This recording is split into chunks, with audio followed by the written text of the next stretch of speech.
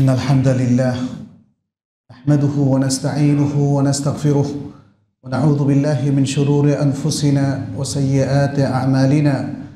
من يهده الله فلا مضل له ومن يضلل فلا هادي له وأشهد أن لا إله إلا الله وحده لا شريك له وأشهد أن محمدا عبد الله ورسوله. أرسله الله بشيرا ونذيرا وداعيا إلى الله بإذنه وسراجا منيرا كما أرسله سبحانه رحمة للعالمين. اللهم صل وسلم على نبينا محمد وعلى آله وأصحابه ومن تبعهم بإحسان إلى يوم الدين. أما بعد أيها المسلمون أوصيكم ونفسي بتقوى الله عز وجل وباتباع سنة نبينا صلى الله عليه وسلم وباجتناب جميع المعاصي والآثام نسأل الله سبحانه أن يوفقنا وإياكم لما يحبه ويرضى ويجعلنا من عباده المؤمنين المخلصين المتقين إنه ولي ذلك والقادر عليه. أيها الإخوة يقول, نبي يقول الله سبحانه وتعالى في سورة التوبة لقد جاءكم رسول من أنفسكم عزيز عليه ما عنتم حريص عليكم بالمؤمنين رؤوف رحيم আল্লাহ সুবহানাহু ওয়া তাআলা সূরা আত-তাওবার 128 নম্বর আয়াতে ঘোষণা করেছেন নিশ্চয়ই তোমাদের কাছে এসেছেন তোমাদেরই মধ্য থেকে একজন রাসূল তোমরা যে দুঃসহ যাতনা এবং দুঃখ কষ্ট ভোগ করো, তা তার কাছে বড়ই কষ্টকর। তিনি তোমাদের মঙ্গলকামী মমেনদের প্রতি তিনি দয়াশীল এবং স্নেহময়। আল্লাহ সুবহানাহু ওয়া তাআলা একজন রাসূল, তিনি এই বিশ্ব মানবতার কাছে প্রেরণ করেছেন যেটি তিনি অন্য আয়াতে বলেছেন, ওমা আরসাল্লাকা ইল্লা রহমতাল্লিল আলামিন সারা বিশ্ব জগতের প্রতি রহমত স্বরূপ তিনি এই নবী মোহাম্মদ সাল্লাহ আলিয়াসাল্লামকে প্রেরণ করেছেন। শেষ নবী হিসাবে খাতামুন নবীন। তার সিরাত অধ্যয়নের গুরুত্বের উপর আমরা আলোচনা করেছিলাম এর আগে। এবং এরপর আমরা ইনশাল্লাহ চেষ্টা করব ধারাবাহিক কয়েকটি আলোচনার মধ্য দিয়ে তার সিরাত এবং সেখানের শিক্ষণীয় কিছু দিক সবার সামনে তুলে ধরা, যাতে করে নবী সাল্লাহ সাল্লামের সিরাত জানা, মানা, অধ্যয়ন করা এবং আমাদের বাস্তব জীবনে সেগুলোকে বাস্তবায়ন করার বিষয়টি গুরুত্ব সহকারে আমাদের সামনে স্পষ্ট হয়ে যায়। আল্লাহর কাছে তৌফিক কামনা করছি। আল্লাহ যেন আমাদেরকে তৌফিক দান করেন। আমিন। যখন বিশ্ববাসী একটা কঠিন অবস্থার মধ্যে পড়ে গেল, রাসুলদের ধারা বন্ধ হয়ে গেল, সর্বশেষ এসেছিলেন ঈসা আলহিসাল্লাম তারপরে মানুষ আবার ফিরে গেল শেরকের দিকে। ফিরে গেল পাপের দিকে, সীমা লঙ্ঘনের দিকে এবং পৃথিবীতে আল্লাহর ক্রোধ জাগানোর মতো বহু কাজ, কর্মকাণ্ড হতে লাগল। যেমনটি এখনও হচ্ছে। আল্লাহ আমাদেরকে রক্ষা করুন। আল্লাহ সুবাহানাহ তালা তখন তার নবী, শেষ নবী মোহাম্মদ সাল্লাহ সাল্লামকে পাঠালেন। তাকে বেড়েসাদ দিয়ে পাঠালেন। পাঠানোর উদ্দেশ্য হল, নবী সাল্লাহ সাল্লাম যেন তার রেসালাতের দায়িত্ব পালন করেন এবং হাদিসের ভাষ্য থেকে আমরা বুঝি, আল্লাহ চাচ্ছিলেন তাকেও পরীক্ষা করতে এবং তাকে দিয়ে সারা বিশ্ববাসীকে পরীক্ষা করতে। এটি সহি মুসলিমের একটা হাদিসের মধ্যে এসেছে। যেমন একটা হাদিসে কুদ্সির মধ্যে আল্লাহ সুবান তাল্লাহ বলছেন, ইন্নামা বা আস্তুকা লে অ্যাবচালিয়াকা ও অ্যাবচালিয়াবিক আমি তোমাকে তো শুধু এই জন্যই পাঠিয়েছি যাতে তোমাকে পরীক্ষা করতে পারি আর তোমার মাধ্যমে আর সবাইকে পরীক্ষা করতে পারি। সুতরাং আমরা জানি যে দুনিয়ার এই জীবনটা হচ্ছে আসলে পরীক্ষার গৃহ, পরীক্ষার হল। এটা আমাদের চিরস্থায়ী বাসস্থান নয় পারমানেন্ট রেসিডেন্স না। আমাদের কোনো স্থায়ী নিবাস নয়, স্থায়ী বাড়ি নয়। ফলে এখানে প্রত্যেকটা কাজেই কিন্তু আমাদেরকে পরীক্ষা দিতে হচ্ছে এবং সেটাই আমরা কিন্তু উপলব্ধি করি।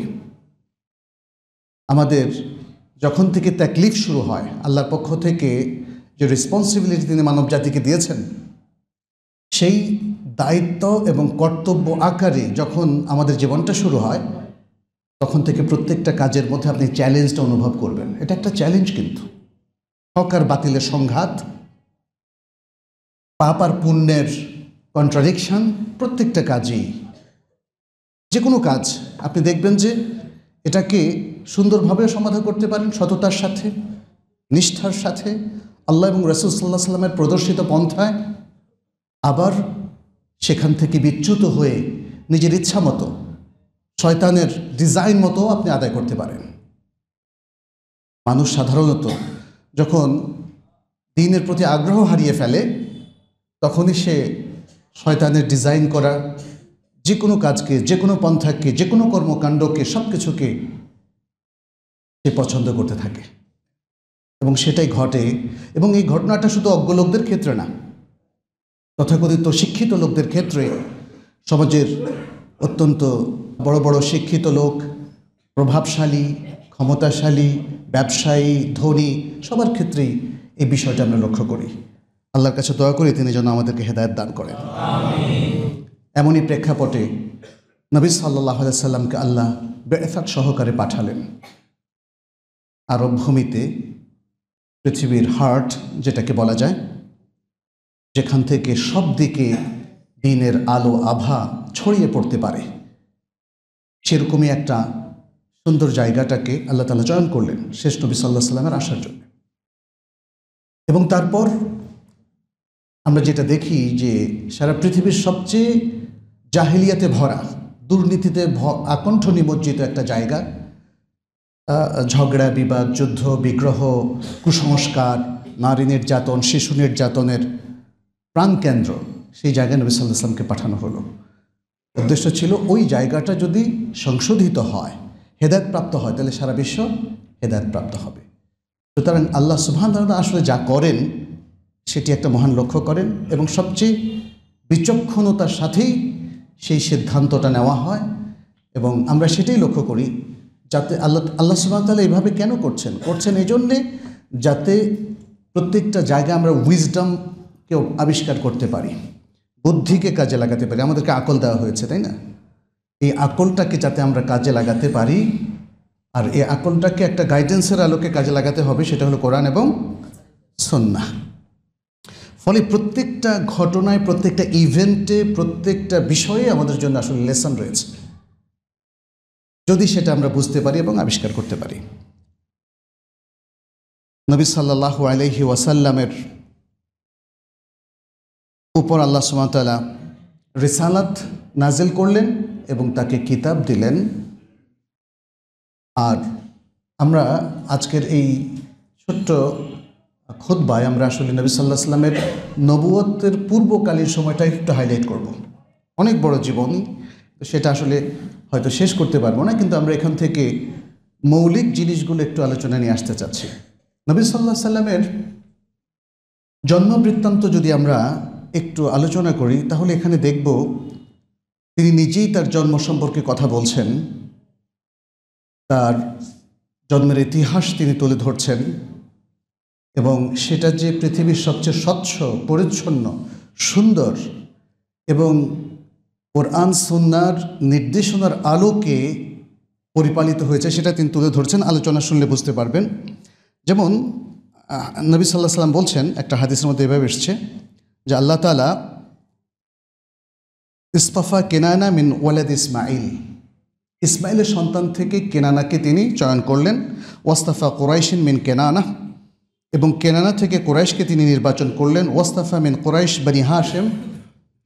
কোরাইশ বংশ থেকে বনি হাসেমকে তিনি চয়ন করলেন। ওয়াস্তাফানি মিন বনি হাসেম এবং বনি হাসেম থেকে আমাকে তিনি চয়ন করলেন। এটি সহি মুসলিমের বর্ণনা। এরপরে যেটা আমরা দেখি মানে বংশের ইতিহাস, আরবদের ইতিহাস, এগুলো যদি বিশ্লেষণ করি তাহলে আমরা দেখব নবী সাল্লাহ সাল্লাম শ্রেষ্ঠ বংশ থেকেই তিনি জন্মলাভ করেছেন। এবং তার এই জন্মলাভের ইতিহাসটাও দেখার মতো। বনি আদম থেকে আরম্ভ করে তার জন্ম পর্যন্ত তার পূর্বপুরুষ প্রত্যেকেই বৈবাহিক পন্থায় তাদের জন্ম হয়েছিল। মাঝখানে কোনো ধরনের জেনা ব্যবিচারের পন্থায় কারও জন্ম হয়নি। সুহান আল্লাহ এটা একটা দেখার বিষয়। অনেকের পূর্বপুরুষ দেখা গেল যে কোনো এক জায়গায় জন্ম জায়গাটা একটু নষ্ট হয়ে গেছে। যেহেতু আল্লাহ সুবহান তালা তার নবীকে এভাবেই পবিত্র রেখেছেন, কারণ তিনি পবিত্র বাণিত মানুষকে দেবেন। কোনো দিক থেকেই যাতে কোনো প্রবলেমে, কোনো ধরনের ইমেজ সংকটে তিনি না পড়েন, সেভাবেই তাকে প্রস্তুত করা হয়েছে। আজকে যারা লিডারশিপ দিতে চান, উম্মাকে বা মুসলিমদেরকে তাদেরকে ভাবতে হবে যে ইমেজ সংকট তৈরি হয় এমন কোনো কাজে আসলে নিজেকে সম্পৃক্ত করা যাবে না। কোনো চুরি, কোনো ডাকাতি, কোনো দুর্নীতি, কোনো অন্যায়, কোনো হারাম কাজ কিংবা হারাম খাওয়া, হারাম ইনকাম ইত্যাদি। এগুলো মুসলিমের ইমেজ সংকট তৈরি করে, তাই না? একজন মুসলিম সেটা হারাম খেতে পারে না। যে হারাম খায়, তাকে কীভাবে ভালো মুসলিম আমরা বলব? একজন মুসলিম, সে চুরি করতে পারে না, সে দুর্নীতি করতে পারে না, সে অন্যায় করতে পারে না, সে নির্যাতন করতে পারে না। যদি করে তাহলে তার ইমেজ সংকট ভয়াবহ রকমের। এবং আল্লাহ তালা তাকে শাস্তি দেবেন, শাস্তির মুখোমুখি তাকে করবেন। এখানে একটা হাদিস আপনাদের সামনে উল্লেখ করছি, যে হাদিসটি আজুর্রি, তার আশারিয়া গ্রন্থে উল্লেখ করেছেন। নবী সাল্লাহ সাল্লাম থেকে হাদিসটি উল্লেখ করা হয়েছে। বলেছেন, খরজতু মিন্নে কাহ আমি এসেছি বৈবাহিক পন্থায়। অর্থাৎ বৈবাহিক পন্থায় সন্তান উৎপাদনের প্রক্রিয়ার মধ্য দিয়ে আমি এসেছি। ওলেম আখরুজ মিন সেফাহ। আমি অবৈধ মিলনের মাধ্যমে আসি নাই। মিন লাদুন আদম ইলা আন ওয়ালাদানি আবি ওয়া উম্মি। সে আদম ইসলাম থেকে আরম্ভ করে আমার মা বাবা যারা আমাকে জন্ম দিয়েছেন সেই পর্যন্ত। লাম ইউসিবনি মিন সেফাহেল জাহেলিয়াতে সেই। জাহেলিয়াতের যে অবৈধ সম্পর্ক, এটা আমাকে কোথাও স্পর্শ করেনি। এভাবেই আমরা দেখতে পাচ্ছি নবী সাল্লাহ সাল্লামের বংশলতিকা, বংশধারা এতটাই পবিত্র ছিল, এতটাই সুন্দর ছিল। আচ্ছা এরপরে বংশকালীন সময় যদি আমরা একটু খেয়াল করি, তাহলে দেখব পৃথিবীর অনেক অত্যাশ্চর্য জিনিস ঘটেছিল।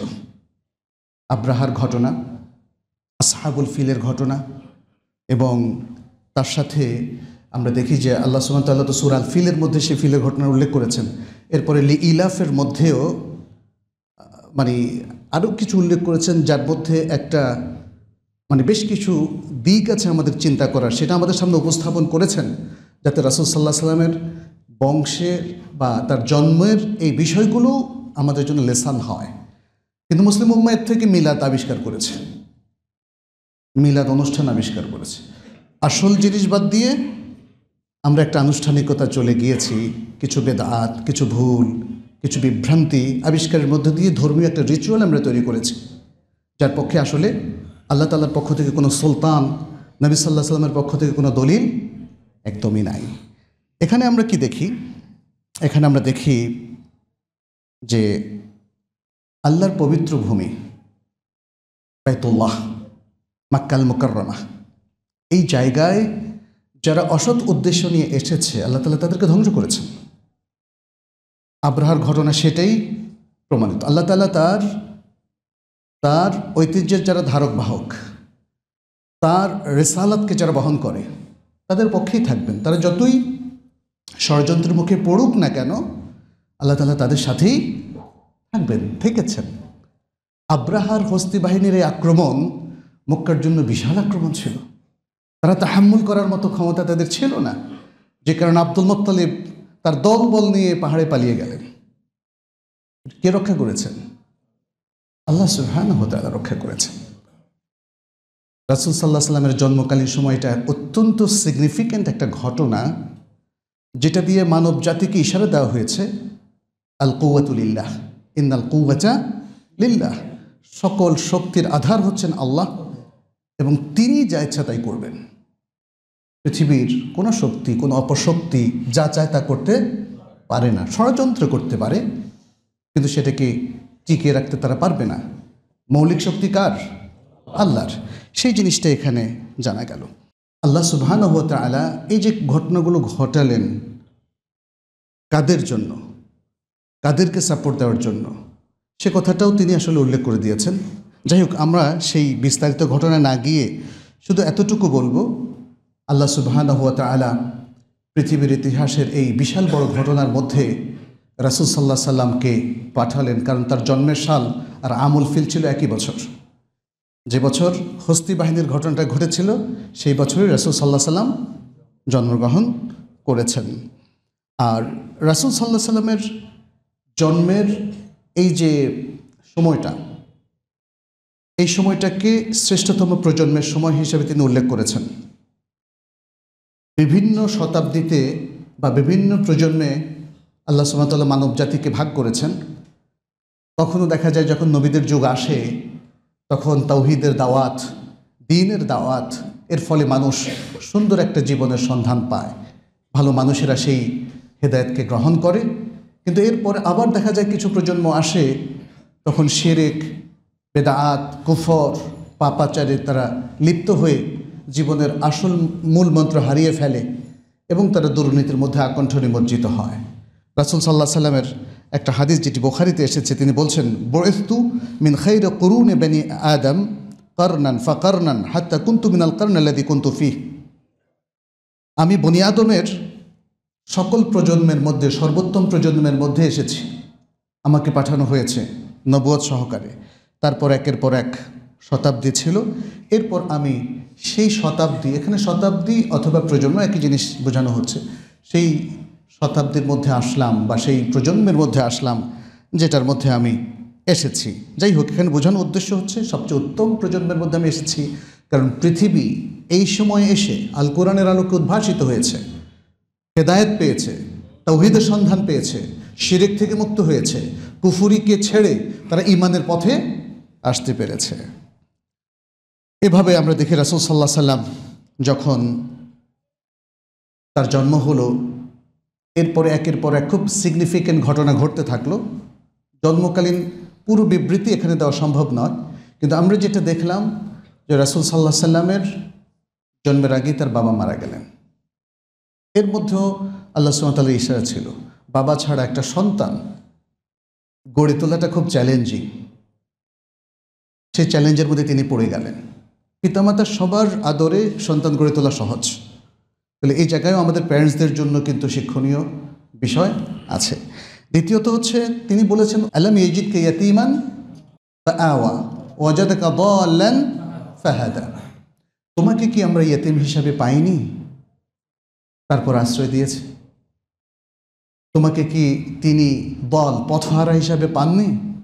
তারপরে হেদায়ত দিয়েছেন। খুবই সিগনিফিক্যান্ট দুটো কথা এবং তার জন্মকালীন সময়ের দিকে ইশারা করা হয়েছে।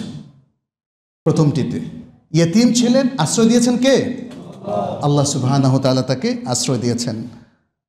আরবদের রীতি ছিল, সন্তানদেরকে তারা ভালো তার বিয়াতের জন্য বেদুইনদের কাছে পাঠাতেন।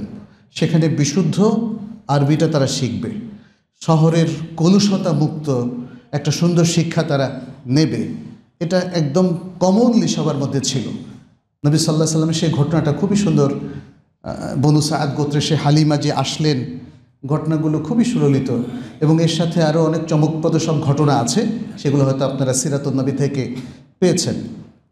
এখানে আমরা দেখি নবী সাল্লা সাল্লাম তিনি গ্রামের মধ্যে মানুষ হলেন। তাহলে শহরের পরিবেশ থেকে গ্রামের পরিবেশ সবসময় আসলে ভালো। আজও কিন্তু সেটা প্রযোজ্য, তাই না? এই গ্রামের মধ্যে থেকে শহরের মধ্য থেকে আসলে আমরা একটা কলুষিত জীবন পাই এবং ইতিমধ্যে একটা রিপোর্টও আপনারা পেয়েছেন। ঢাকা শহরের আবহাওয়া হচ্ছে পৃথিবীর আবারও সবচেয়ে খারাপ আবহাওয়া। আল্লাহ আমাদেরকে রক্ষা করুন। আমি এখানে নবী সাল্লাহ সাল্লাম তার কাছে চার বছর ছিলেন। শেষ দিকে এসে আরেকটা ঘটনা ঘটেছে, আপনারা জানেন, সেটি হলো শারহুস সাদর। নবী সাল্লাহ সাল্লামের হার্টের অপারেশন তার সিনা চাক করার ঘটনা। এটা আসলে এক ধরনের অপারেশন যে অপারেশনটা চালিয়েছেন কে? জিব্রাইল আলাইসাল্লাম আল্লাহ চালিয়েছেন, কিন্তু কার মাধ্যমে?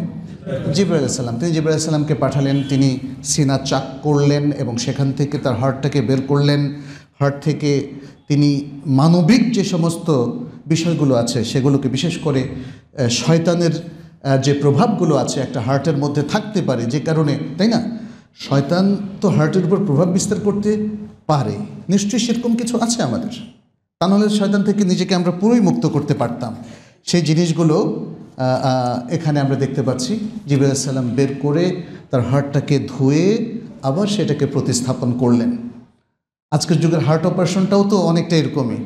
হার্টটাকে বের করে তারপরে নানাভাবে, এটা হলো ফিজিক্যাল অপারেশন আর ওটা হলো ম্যাটাফিজিক্যাল অপারেশন কীভাবে সে অপারেশনটা করেছেন, এটা সাধারণ মানুষ ওইভাবে বুঝবে না। সাধারণ মানুষের ফিজিক্যাল অপারেশনের সাথে এটা ওইভাবে মিলবে না। কিন্তু এটা হয়েছে। কারণ আমরা যে হাদিসগুলোতে দেখি আমরা আগে আনাসের হাদিসটা একটু উল্লেখ করি। আনাস রাদি আল্লাহ তালাহ থেকে বর্ণিত তিনি বলেন, আন্না রাসুল আল্লাহ সাল্লাহ সাল্লাম আতাহু জিব্রিল আলহ সালাম ওহুয়াইয়াল্লা আবু মা আল গেলমান। মোহাম্মদ সাল্লাহ সাল্লামকে জিব্রিল আসলেন যখন তিনি ছোট ছোট বাচ্চাদের সাথে খেলছিলেন। ফা আখাদাহু ফাসরাহু ফাশাক্কা আন কালবিহি। তিনি তাকে নিলেন, ছোট বাচ্চা। চার বছরের বাচ্চা খুব তো বেশি না। তাকে তিনি নিলেন, নিয়ে শোয়ালেন এবং তার সিনা, তার বুককে তিনি ভাগ মানে চিড়ে ফেললেন, চাক করে ফেললেন। আজ্জাহু ওয়াশাক্কা আন কালবিহি ফাস্তাখরাজ আল কালব। এরপর হার্টটাকে বের করলেন। হার্টটাকে বের করলেন, ফাস্তাখরাজ মিনহু আলাকাতান। একটা আলাকা। একটা জিনিস, একটা পিণ্ডের মতো একটা জিনিস তিনি সেখান থেকে বের করে ফেললেন। ফকাল, হাদা হাদ্দ শয়তান মিনক। বললেন, এটা ছিল তোমার মধ্যে শয়তানের অংশ। মানে এই জিনিসটা একটা ম্যাগনেটের মতো আর কি, শয়তানকে আকর্ষণ করে। আমাদের হার্ট থেকে তো আমরা ওটাকে বের করতে পারিনি। কিন্তু জিবুল সাল্লাম মোহাম্মদ সাল্লাহ হার্ট থেকে সেটাকে বের করে ফেলেছেন। তার মানে ওই অংশের সাথে শয়তানের একটা রিলেশন থাকে, একটা অদৃশ্য আকর্ষণের বিষয় থাকে এই জন্য তিনি সেটা বলেছেন। তো মাগাস আলাহফি তস্তিন তারপর তার কল্পটাকে তিনি একটা তস্ত তস্ত তস্ত মানে একটা ছোট পিরিচের মধ্যে তিনি সেটাকে ধৌত করলেন মিন্দাহাবিন বেমা ইন জামজাম। ওই পিরিচটা ছিল স্বর্ণের তৈরি এবং যে পানি দিয়ে ধুলেন সেটা হলো মা এ জমজম, জমজমের পানি দিয়ে। তুম্বা আদাহু ফি মাকানি অপারেশন শেষে সেটাকে হার্টটাকে তার জায়গায় ফেরত রাখলেন। সুবহান আচ্ছা তৈব এতটুকু পর্যন্ত এ হাদিসের মধ্যে এসেছে। আচ্ছা তারপরে যখন বাচ্চারা দেখল, আশেপাশের লোকজন কিন্তু দেখছে সেটা। এই অপারেশনটা যখন হচ্ছিল, তারা দেখছে। দেখে তারা ভয় পেয়ে গেল। একজন লোকের বুক চিড়ে ফেললে, আপনি কি বলবেন? অপারেশন করছে নাকি হত্যা করছে? তাই না? তখন তারা বললেন কোচেলা মোহাম্মদ। সাদিয়ার কাছে গিয়ে বললেন, মোহাম্মদকে তো হত্যা করা হয়েছে। তারপর কোন কোন কাচালুহু তারা মোহাম্মদ হাসানকে হত্যা করেছেন। এইভাবে মানে শিশুরা কিন্তু দেখেছিল, এই কাজটা দেখেছিল এবং তারা ভীত সন্ত্রস্ত হয়ে খবর দিল। তারপর ইতিমধ্যে মোহাম্মদ সাল্লামের দেখেন, এটা যে মেটাফিজিক্যাল ছিল, সেটা বোঝা যায় অপারেশন সারতে কতদিন লাগে?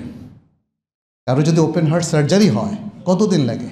এটা কি একদিন এক ঘণ্টা শেষ? ভালো হয়ে যায়? ভালো হয় না। কিন্তু এই জায়গায় দেখা গেল মোহাম্মদ আসছেন। হালিমা সাদিয়ার কাছে আসলেন। তিনি ভয় পেয়ে গেলেন। শিশুরা এসে যখন সেটা দেখল, তাকে বলল, তিনি ভাবলেন যে না, কিছু অ্যাবনর্মাল অস্বাভাবিক কিছু তার সাথে ঘটছে, অতএব আমার কাছে মনে হয় রাখা ঠিক হবে না। তখন তিনি তার মায়ের কাছে পাঠিয়ে দিলেন, আমিনার কাছে। ছয় বছর পর্যন্ত মায়ের কাছে থাকলেন। হালিমার ঘটনাও আমরা জানি, কীভাবে তিনি প্রতিপালন করেছেন, কতটা স্নেহ, ভালোবাসা দিয়ে মায়ের কাছে না থাকলেও মায়ের চাইতে কম আদর তিনি পাননি। এরপরে মায়ের আদর পেয়েছিলেন রসুল সাল্লাহ কিন্তু সেটা মাত্র দুই বছরের মতো মা আবোয়া নামক স্থানে মক্কা মাদিনার মাঝখানে যখন মারা গেলেন, তার ছয় বছর বয়স, তখন আল্লাহ তালা তাকে তার দাদার কিফালাতে, কিফালাতের ব্যবস্থা করে দিলেন। দাদার কাছেও তিনি খুবই স্বল্পকালীন সময়ের জন্য থাকলেন, প্রায় আট বছর বয়স পর্যন্ত। তারপরে দাদাও যখন মারা গেলেন, তখন তিনি তার চাচা আবু তালেবের কাছে আবার স্থানান্তরিত হলেন। আবু তালেবের ইতিহাসটা আমরা জানি। তিনি যদিও ইসলামের মধ্যে আসেননি, কিন্তু তার এই ভাতিজাকে তিনি সব ধরনের সাপোর্ট দিয়েছেন। সাপোর্টের ব্যবস্থা করেছেন কে? আল্লাহ। তাহলে আল্লাহ তালা ইমান না থাকলেও অনেককে দিয়েও কিন্তু ইসলামের অথবা মুসলিমদের সাপোর্টের ব্যবস্থা করতে পারেন আবু তালেব তার সন্তানের মতোই তাকে দেখতেন। তার অন্যান্য সন্তানদের মধ্যে বরং তার প্রতি বেশি কেয়ার করতেন, কারণ অন্য সন্তানদের কোনো শত্রু ছিল না। শত্রু ছিল মোহাম্মদ বিন আবদুল্লাহ সাল্লাহ আলহি ওসাল্লামের ফলে তিনি তাকে সব ধরনের সাপোর্ট দিয়েছেন। অনেক ঘটনা এর সাথে আছে, আপনারা জানেন। সেগুলো নিয়ে আমরা কথা এখানে বলব না। এভাবে আল্লাহ তালা একটা চ্যালেঞ্জিং অবস্থায় নবী সাল্লাহ সাল্লামকে গড়ে তুললেন। একের পর এক চ্যালেঞ্জ, আপনজনের বিয়োগ এবং এভাবে একজনের কাছ থেকে আরেকজনের কাছে যাওয়া, নানা রকম ঘাত প্রতিঘাত পেরিয়ে জীবনের নানামুখী শিক্ষা তিনি পেয়েছিলেন। এটা ঠিক যে ওহি তার কাছেই নাজেল হয়েছিল, কিন্তু তারপরেও তিনি তো মানুষ ছিলেন। তিনি আমাদের সমাজেরই একজন মানুষ ছিলেন। এবং এই সমাজের আর অন্য মানুষের মতো তিনি খাওয়া দাওয়া করতেন, চলাফেরা করতেন। তার সন্তান হয়েছিল তিনি বিবাহ করেছিলেন। ফলে এই জায়গাগুলোতে অতি মানবীয় কিছু তার ছিল না। আল্লাহ তালা তাকে অন্য মানবদের মতোই বিভিন্ন ঘাত প্রতিঘাতের মধ্য দিয়ে নবিয়ানা কাজের জন্য তিনি প্রস্তুত করেছিলেন। এরপর আমরা যেটা দেখি, এখানে আরেকটা বিষয়। নবী সাল্লাহ আসলাম তার কৈশোরে তিনি ছাগল চড়াতেন এই ছাগল চড়ানোর মধ্যেও কিন্তু একটা তারবিয়াতের ব্যাপার আছে। এখানে আমরা দেখি নবী সাল্লাহ সাল্লাম থেকে কিছু হাদিস বোখারির একটা হাদিস। নবী সাল্লাহ সাল্লাম বলছেন, মা বা আতাল্লাহ নবীয়ান ইল্লা আল গানাম। আল্লাহ তালা যত নবী প্রেরণ করেছেন, তারা প্রত্যেকে ছাগল চড়িয়েছে। ইয়া সালাম। ইয়া সালাম সুতরাং ছাগল চড়ানোকে কিন্তু আমাদের ছোটোখাটো কাজ মনে করা ঠিক না। তাই না? আমরা রাখালদেরকে গালিগালাজ করি অনেক সময়। মানে আমরা প্রফেশনকে শ্রদ্ধা করতে শিখি নাই। তাই না? এটা আমাদের জাতীয় সমস্যা বাংলাদেশে। সব প্রফেশনই সম্মানিত। এটা মনে রাখতে হবে। ইসলাম কোনো প্রফেশনকে অসম্মান করেনি। তবে এক প্রফেশন থেকে আরেক প্রফেশন হয়তো গুরুত্বপূর্ণ বেশি হতে পারে। বেশি গুরুত্ব মানে বেশি মর্যাদা সম্পন্ন নাও হতে পারে। আর প্রত্যেক প্রফেশনেরই প্রয়োজন আছে আমাদের। সবার। যারা আমাদের ধরেন পয় নিষ্কাশন পদ্ধতির পরিচ্ছন্ন কর্মী, তাদের প্রয়োজন আছে না আমাদের? কিন্তু আমরা তাদেরকে কি বাজে কথা বলি, তাই না? এটা আমাদের ত্যাগ করা উচিত। তো নবী সাল্লাহ সাল্লাম বলেছেন যে প্রত্যেক নবীকেই আল্লাহ তালা এই দায়িত্ব দিয়েছেন, এই কাজটা করিয়েছেন। তারা ছাগল চড়িয়েছেন। এরপর তিনি বলছেন, না, কিন্তু আর আহা আল্লাহ কারিত আলী আহলে মাক্কা। আমি আহলে মাক্কার লোকদের জন্য আমি এই কাজটা করতাম, অল্প কিছু কারারিতের বিনিময়ে। এই কাজটা আমি করতাম। তো এখানে যেটা দেখা যায়, ছাগল চড়াতেন, ছাগল। ছাগল হচ্ছে প্রাণীদের মধ্যে খুবই শান্তশিষ্ট একটা প্রাণী। তাদের সাথে সহবস্থান এখানে যেমন আমরা যেটা আমরা দেখি হাদিসের মধ্যে আর সাকিনা তুফি আহলিল গানাম। ছাগল এর মালিক যারা, তাদের মধ্যে সাকিনা থাকে, সাকিনা। একটা সুন্দর, প্রচ্ছন্ন, শান্ত, সমাহিত ভাব রসুল সাল্লাম বলছেন। তাহলে এই এই জিনিসটাকে নবী সাল্লাম পছন্দ করতেন। আমরা জানেন হজের মধ্যে তিনি বলছেন আচ্ছা কি না আচ্ছা না তোমরা তাড়াহুড়ো করো না, হইচই করো না, চিৎকার করো না, হুড়োহুড়ি করো না। তাহলে সুন্দর শান্ত সমাহিত সিস্টেমটাকে নবী সাল্লাম পছন্দ করেন। আর সেখানে তাহলে একটা তারবিয়ত হয়ে গেল। দ্বিতীয় তারবিয়তটা হলো ছাগলকে ঠিকমতো সংরক্ষণ করা। তাদেরকে শৃঙ্খলাবদ্ধ রাখা খুব কষ্টের কাজ।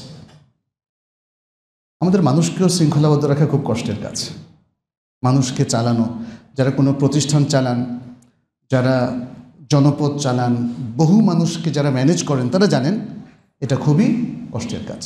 সুতরাং নবী সাল্লাহ সাল্লাম যেহেতু তাকে আল্লাহ সুবাহ তালা তাকে দিয়ে পুরো জাতিকে চালাবেন, বিশ্বকে চালাবেন, মানব জাতিকে চালাবেন, সমাজকে পুনর্গঠন করবেন, সেই প্র্যাকটিসটা কিন্তু এই ছাগল চরণের মধ্য দিয়ে হয়ে গেল সুবাহান আল্লাহ এভাবে আল্লাহ তালা দেখেন অতি সামান্য, নগণ্য, ছোট কাজ দিয়ে বড় কাজের জন্য তিনি তার বান্দাদেরকে প্রস্তুত করেন। সোহান আল্লাহ এরপর যদি আমরা দেখি, নবী সাল্লাহ সাল্লামের আরও কিছু কাজ, যেমন তিজারাতের সাথে তার সম্পৃক্তি, বিজনেস, ব্যবসা বাণিজ্যের সাথে তার সম্পৃক্তি। দেখি যে তিনি তার চাচাদের সাথে রেহলাতা সীতা এ সাইফ এগুলোর মধ্যে আসা যাওয়া করেছেন।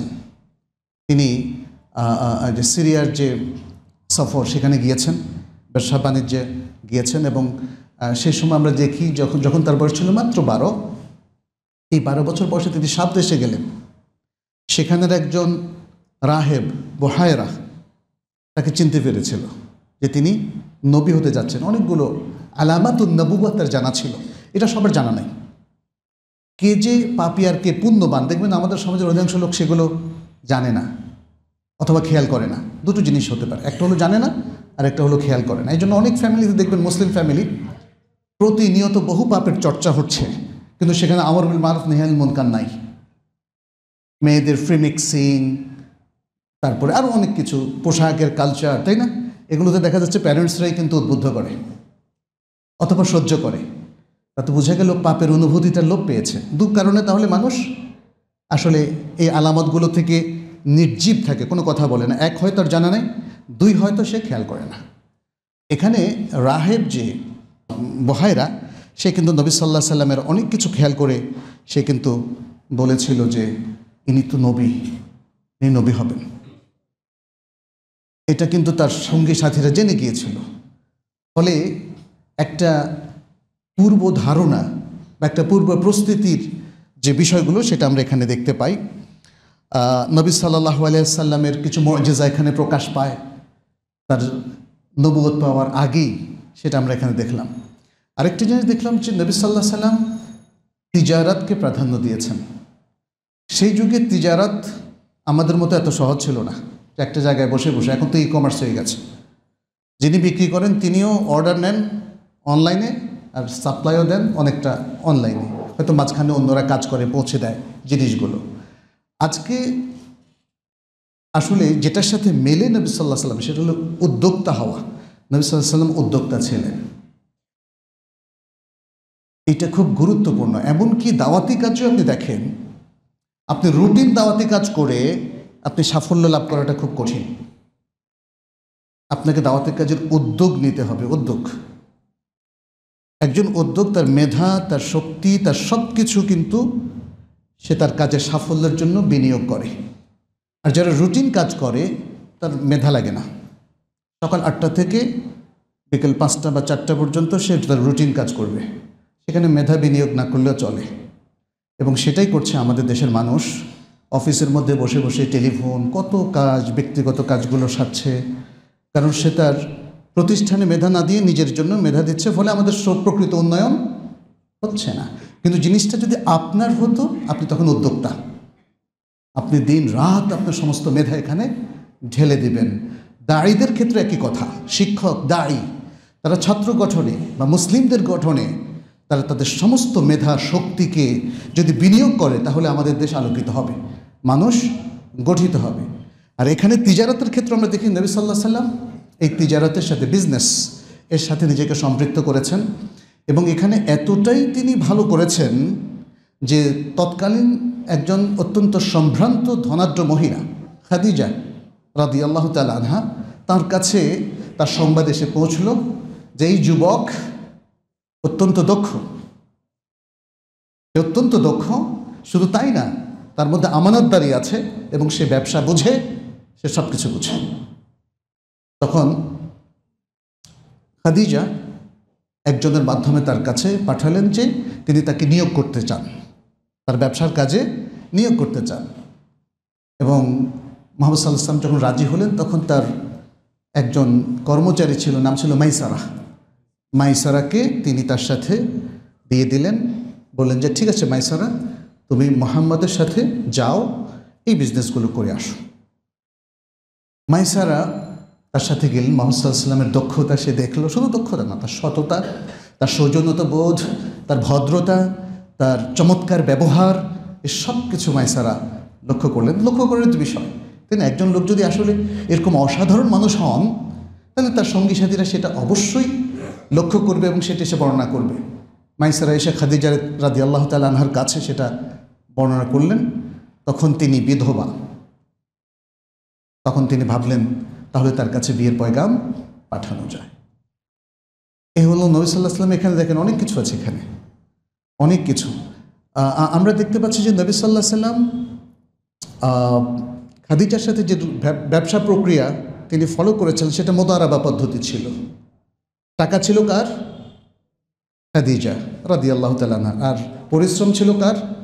মোহাম্মদ সাল্লাহ সাল্লাম এরকম আরও অনেকগুলো লেসন আছে। এই পদ্ধতিতে দেখেন সফল বিজনেস করেছেন নবী সাল্লাহ সাল্লাম। তিনি কোনো লস করেন নাই। আর আজকের যুগে আমরা মনে করি মোদারাবা পদ্ধতি খুব রিস্কি একটা ব্যবসায়িক পদ্ধতি। কেন বলেন তো? অসততার কারণে। আমি আপনাকে এক কোটি টাকা দিব, আপনি ওই টাকা নিয়ে বাস আমাদের এক বন্ধু, উনি বিদেশে ছিলেন অনেক দিন এদেশে একটা ব্যবসা শুরু করলেন, যাকে এমডি বানালেন, একদম দশ কোটি টাকা নিয়ে পালিয়ে গেল। সে নিজে আমাকে বলেছে। তাহলে এইভাবে কি ব্যবসা করা সম্ভব? তাহলে ইসলামের এই কাজগুলোর সাফল্যের জন্য আমাদের কিন্তু সততা প্রয়োজন, বিশ্বস্ততা প্রয়োজন। এই বিষয়গুলো কিন্তু আমাদের মনে রাখতে হবে। এরপরে নবী সাল্লাহ সাল্লামের কাছে পয়গাম আসার পরে তিনিও রাজি হলেন। সম্ভ্রান্ত মহিলা, হোক বয়স্ক, তাতে কোনো সমস্যা নেই।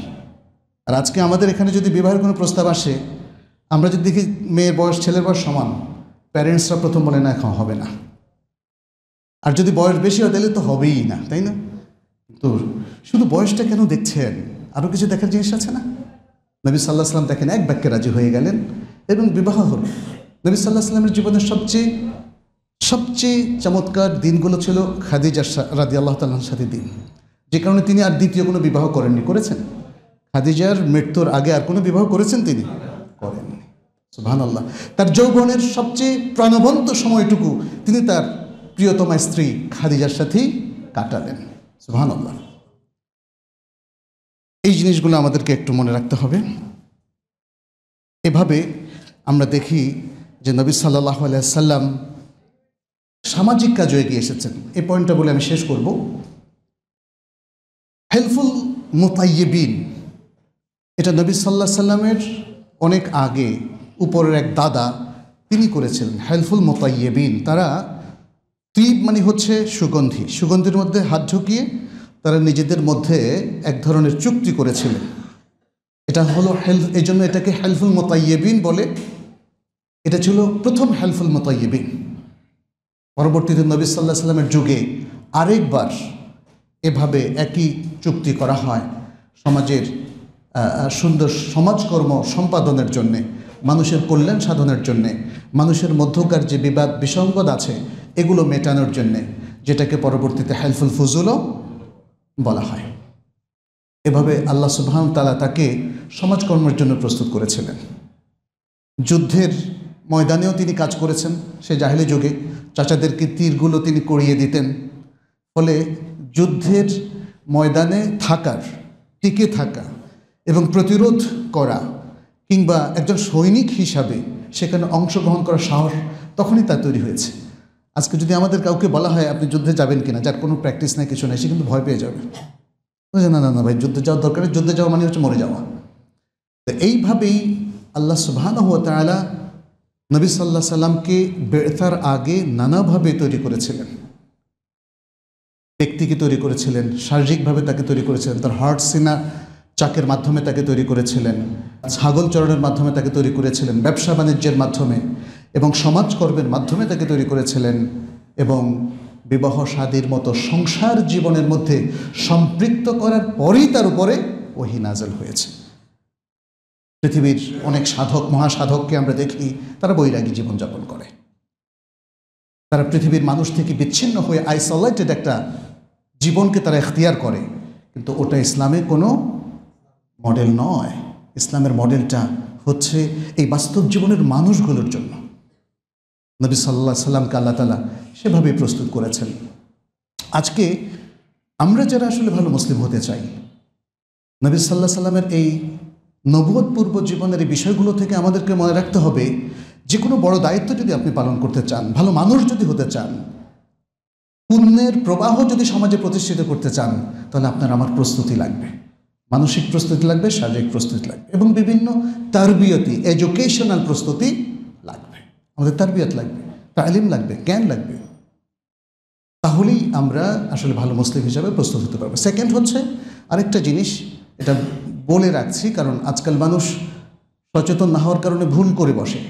নবী সাল্লাহ সাল্লামের বেড়াতের আগে, অর্থাৎ তার নবুয়ত প্রাপ্তির আগে যতগুলো ঘটনা ঘটেছিল, এটা শরীয়তের দলিল নয়। এখানে অনেক ভালো জিনিস ঘটেছিল বাট এটা শরীয়তের দলিল নয়। প্রত্যেকটা ভালো কাজের দলিল কোরআনে এবং সুন্নায় আছে না?